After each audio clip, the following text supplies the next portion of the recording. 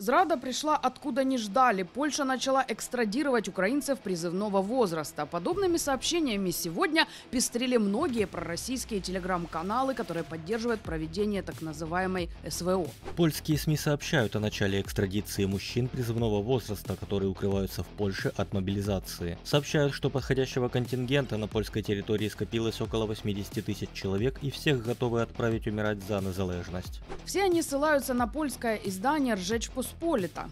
Правда, активных ссылок не дают. Максимум ограничиваются скриншотом заголовка статьи. На самом деле сообщество манипулирует информацией. О чем же на самом деле пишет «Ржечь Посполита»? Вот материал, который так взбудоражил тех, кто поддерживает агрессию РФ. Здесь действительно говорится, что на территории Польши находятся около 80 тысяч мужчин из Украины возрастом 18-60 лет, которые выехали после 24 февраля 2022 года. И что некоторых из них официальная Варшава экстрадировала в Киев, но речь не об обычных украинцах призывного возраста.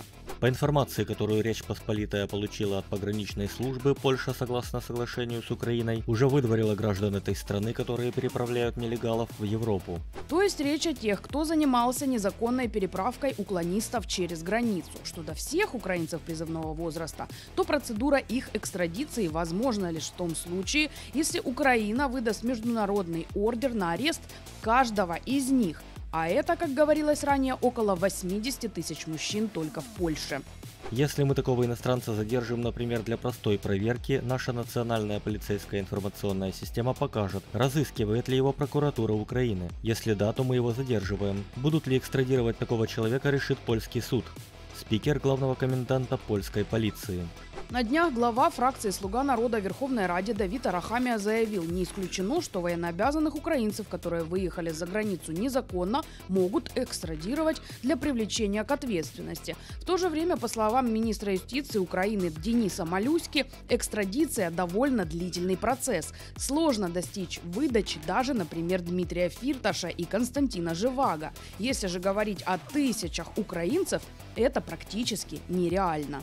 Екстрадиції можна застосувати відносно однієї-двох десятків е, осіб, але не в такому об'ємі. Питання екстрадиції в нас регулюється нашим е, локальним законодавцем, це кримінально-процесуальним кодексом та міжнародними Е, договорами, а саме європейськими конвенціями. Тому внести якісь зміни навіть в цю процедуру достатньо складно. Процедура экстрадиции такова. Сначала суд в Украине должен принять решение о заочном аресте. После того, как оно вступит в силу, можно подавать запрос об экстрадиции. Причем запрос может подать только либо Генеральная прокуратура, либо Міністерство Юстиції. Потім, після прийняття цього рішення, е, компетентний орган України подає запит до іншої держави в компетентний орган, там теж може бути складна процедура, як в нас.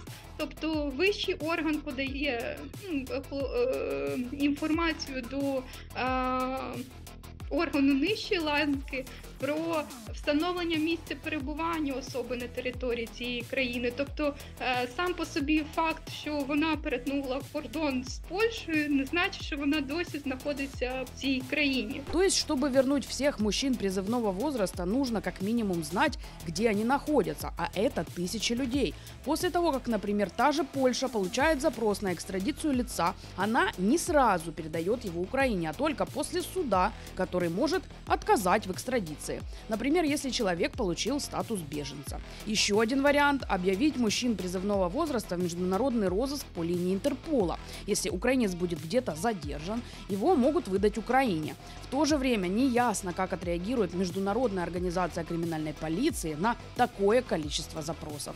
Помимо экстрадиции, по словам юристов, есть также процедура выдворения. Она чаще применяется к тем, кто незаконно пересек границу. Напомним, на момент начала полномасштабного вторжения действовал действовала упрощенная процедура въезда в страны в ЕС. Кто не имеет законного основания находиться в другой стране, не получил статус беженца или лица, нуждающегося в дополнительной защите. Якщо ми кажемо про е, подальший розвиток подій, то мабуть. Е, це має бути відповідати законодавству тієї країни, де громадянин знаходиться. Е, Тобто, якщо в законодавстві Польщі не були внесені якісь зміни стосовно громадян України, е, стосовно їх м, підтвердження статусу та місця перебування, то тоді е, відносно тих людей, які е, у цей спрощений порядок е, перетинали кордон, не може бути застосована процедура видворення. Несмотря на все это, различные манипуляции о высылке украинцев из-за границы всплывают в российских медиа и прокремлевских телеграм-каналах довольно часто. То здесь рассказывают, что мужчин призывного возраста будет задерживать полиция и отправлять в военкоматы, то утверждают, что Польша может стать так называемым полигоном для отработки мобилизации граждан Украины за границей. В череде фейков о жизни беженцев в странах Евросоюза, которые продуцирует российская сторона, манипуляции о высылке обратно, пожалуй, входят в тройку самых частых.